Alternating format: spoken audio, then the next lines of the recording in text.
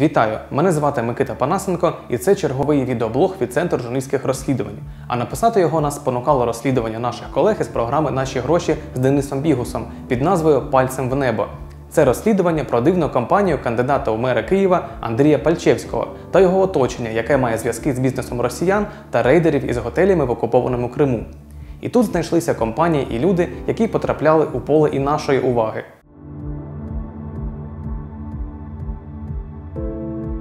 У розслідуванні журналістів Бігус.Інфо йдеться про те, що Андрій Наумов, колишній юрист клініки Євролаб, а віднедавна керівник благодійного фонду Андрія Пальчевського, підписується за офшорну компанію Пальчевського і паралельно супроводжує сумнівний бізнес, що працює в окупованому Криму. Що це за бізнес? Наумов є керівником ще кількох українських фірм, не пов'язаних з Пальчевським. Це дві товки, фінансові компанії Capital Gearing та Кантієро. Вони належать легендарним на рейдерсько-борговому ринку особам Дмитру Мурахверу та Павлу Маліку. Їхні імена вам ні про що не говорять, навіть їхніх фото немає. А от це обличчя ви можете впізнати. Мурахвер і Малік працюють на одного з найдемонічніших суддів Артура Ємельянова. Ці три прізвища найчастіше згадуються в історіях рейдерських захоплень за підтримки, ну звісно, судових рішень. Я розумію, що це збоку може виглядати вплоть до того, що Мураков з Маліком фінансують Панчев. Але повірте мені, це ну. Ну, це не так. Цього Що чесно, ми про це ми про це навіть не думали, але тепер подумаємо. Також Мурахвер володіє готелями в окупованому Криму. Суттєвий момент у розмові з журналісткою Марією Землянською Андрій Наумов стверджував, що київські фірми Мурахвера та Маліка, які він обслуговував як адвокат, це мертві товки, які не ведуть жодної діяльності. Вже протягом, я не знаю, років трьох чи чотирьох е, в мене адвокатська діяльність. Угу, Адвокатська так. діяльність як адвокати. І в рамках цієї адвокатської діяльності я надаю адвокатські послуги ну, багатьом е, людям, в тому числі і ті прізвища, які ви тільки що назвали. Ага, Але просто особисто з ними я не знайомий. Маємо сказати, що мертві, за словами Андрія Наумова Товки, фінансові компанії Capital Gearing Мурахвера та Кантієро Маліка живіші за всіх живих і чудово себе почувають. Бо за смішні гроші скуповують заставне майно з банкрутілих банків, яке знаходиться на окупованих територіях Криму і Донбасу. І саме тому вони потрапили у пол нашої уваги під час розслідування про піратів піщаних кар'єрів в окупованому Криму. Земснаряди Трофа та Печора, що належать компаніям з умовної групи Суеста, заснованими відставниками Російського Чорноморського флоту, майже десятиліття ведуть грабіжницький видобуток піску біля берегів Криму. З початком його окупації Росією судна збільшили видобуток. Піску потребує будівництва численних об'єктів, яке окупанти ведуть у Криму, перетвореному на гігантську військово-морську базу. У 2018 році судно Печора було арештоване українським судом в рамках кримінального провадження за спричинення шкоди заповідній зоні Чорного моря в районі Бакальської коси на 140 мільйонів гривень. Однак ми виявили, що земснаряди Печора та Трофа були заставним майном при отриманні кредитів Укрбізнесбанку компаніями та людьми з умовної групи Суеста.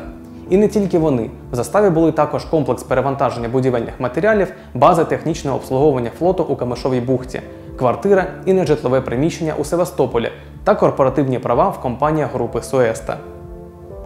У 2015 році Національний банк ухвалив рішення про ліквідацію Укрбізнесбанку. Заставне майно з банкрутілого банку перейшло до фонду гарантування вкладів, який і виставив його на аукціони. Активи Суести в окупованому Криму виставлялись 10 разів на торги і нарешті були продані у квітні нинішнього 2020 року. Причому у складі величезного пулу, куди скинули усі неліквіди і за смішну ціну у 25 мільйонів гривень. Право вимоги за іпотекою банку щодо севастопольських та інших активів відійшло фінансовій компанії Capital Gearing, бенефіціаром якої є Дмитро Мурахвар, а керівником Андрій Наумов.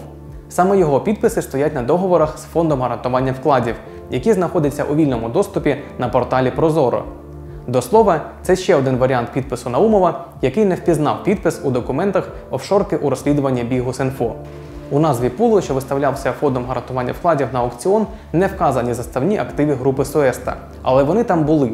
І на доказ ми маємо відповідь із фонду гарантування вкладів та витяг з майнового реєстру, де іпотекодержателем вказана фінансова компанія Capital Gearing. Та сама мертва товка, як казав Наумов. Що відбувається далі? У російському Краснодарі зареєстрована факторинова компанія «Інвестфактор», яка через сімферопольську фірму СДК Крим, вона ж належить тому ж самому Дмитру Мурахверу, «Інвестфактор» іде до так званого арбітражного суду Севастополя і подає позов до п'яти компаній із групи Соесте з вимогою повернення кредитних боргів. Сума позову складає майже 2,5 мільярди рублів. І це не єдині права вимоги, які з аукціону купили дуже живі фінансові компанії Мурахвера і Маліка, і за повернення боргів, за якими судиться в Криму компанія інвестфактор Мурахвера. 10 років тому кримські компанії російського мільярдера Олександра Лєбєдєва отримали іпотечні кредити в українському енергобанку. Як заставне майно були оформлені ресторанний комплекс Кастель Приморський, будівлі клімата павільйону та сім апартаментів в Алушті. У 2015 році Нацбанк України ухвалив рішення про ліквідацію енергобанку, а фонд гарантування вкладів фізичних осіб продав активи банку. 21 жовтня 2019 року іпотека держателем активів компанії Лебедєва було зареєстровано київське ТОВ фінансова компанія Юніко Фінанс, співвласником якої є Павло Малік. І далі по схемі Краснодарський інвестфактор іде до Кримського окупаційного суду і вимагає від компанії Лебедєва 485 мільйонів рублів. У лютому курортні заклади російського олігарха в Алушті були арештовані в рамках забезпечення позову фірми. Наразі у судовій справі щодо кримських активів Лєбєдєва не поставлена крапка. У засіданнях оголошена перерва, а наступне заплановано на 1 жовтня. На сьогодні все. Якщо ви вважаєте нашу роботу корисною і бажаєте нас підтримати, підписуйтесь на наш канал у YouTube та сторінку у Facebook, а також натискайте кнопку Donate на нашому сайті, якщо хочете підтримати нас фінансово. Побачимось!